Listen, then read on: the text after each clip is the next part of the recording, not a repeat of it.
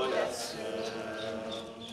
Força, fé e amor, e a esperança em Cristo Redentor e abastrou.